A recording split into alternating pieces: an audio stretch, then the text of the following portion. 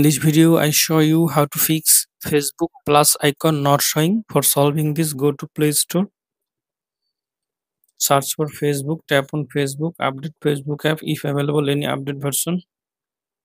Wait for completing the update process. Now go back to home screen, then go to settings.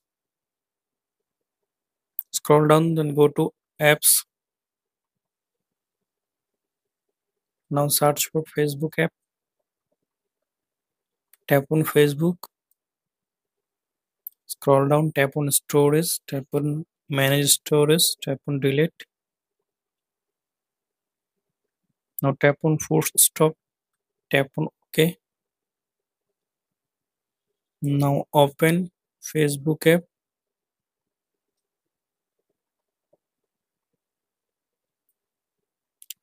Now log into your account. Now you can see that plus icon. I hope that this method fix Facebook plus icon not showing problem.